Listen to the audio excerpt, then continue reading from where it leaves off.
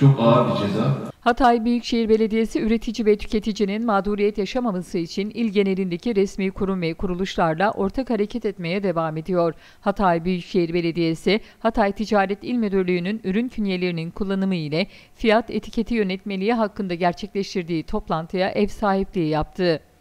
Büyükşehir Zabıta Daire Başkanlığı Ek Hizmet Binası'nda gerçekleşen toplantıda Büyükşehir Zabıta Bölge Müdürlüklerine bağlı zabıtalar hazır bulunurken konuyla ilgili mevzuattaki yenilikler ve beklentiler paylaşıldı.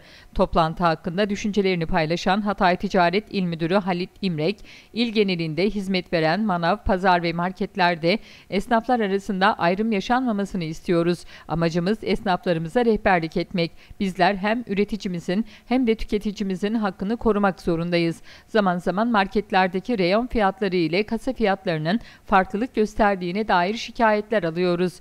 Böyle durumlar gerçekten oluyorsa buna müdahale etmeliyiz. Toplantıya ev sahipliği yaptığınız için teşekkür ederim dedi. Büyükşehir Zabıta Daire Başkanı Ahmet Kilisli de düşüncelerini paylaştı. Gıda güvenliği ve ticaretin çok hassas konular olduğunu ifade eden Kilisli, mevzuattaki yenilikleri takip ederek hareket ediyoruz. Esnafımızın ve vatandaşlarımızın herhangi bir mağduriyet yaşamaması için görevimizin başındayız dedi.